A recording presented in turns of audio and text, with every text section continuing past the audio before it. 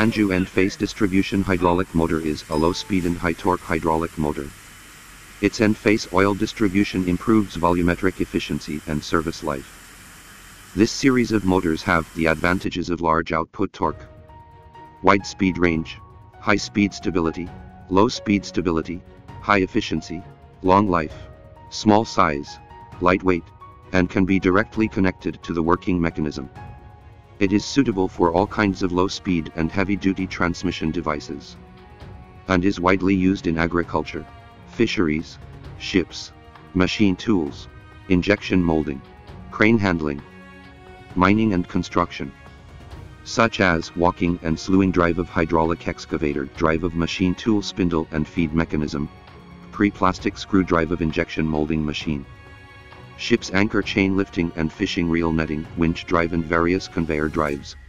Coal mining the hydraulic traction drive of the machine. Hello, we are hydraulic manufacturer from China. Brand name Hanjiu. Hydraulic orbit motors and hydraulic valves are our core products.